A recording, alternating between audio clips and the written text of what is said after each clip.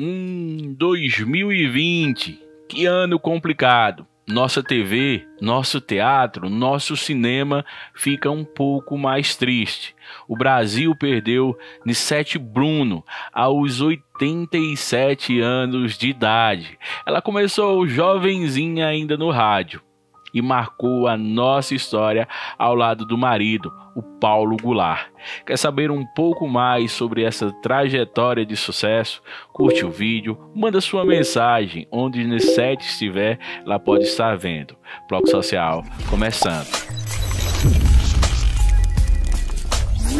Oi, gente infelizmente, faleceu na manhã deste domingo 20 de dezembro de 2020. Que ano complicado!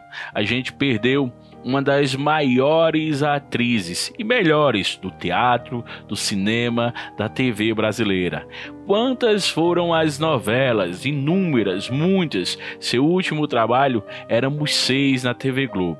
Desde o dia 26 de novembro desse ano, Nissete seguia internada e, segundo o boletim médico informado pelo hospital em Humaitá, no Rio de Janeiro, o estado de saúde da atriz era considerado grave. A filha, Beth Goulart, pediu muitas orações. A gente aqui no Bloco Social também fez orações para Nissete Bruno. Mas, infelizmente, na manhã desse dia 20, ela faleceu.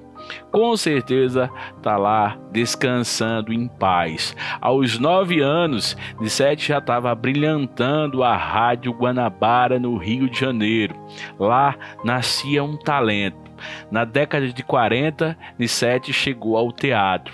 Na década de 50, ela chegou à TV Tupi e aí não parou mais. Foram mais de 50 trabalhos na TV brasileira. Foram muitos trabalhos. Como esquecer ela como Fanny na novela Selva de Pedra? Como esquecer ela em vários trabalhos, sendo filha, sendo mãe, sendo a grande atriz que ela sempre foi? Como esquecê-la ao lado do marido? Marido Paulo Goulart, da filha Beth Goulart. De descanse em paz. Você sempre nos deu alegria, você sempre nos mostrou que era uma pessoa do bem, uma pessoa super talentosa.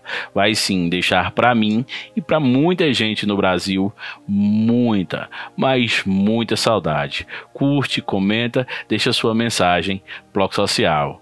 Tchau, tchau.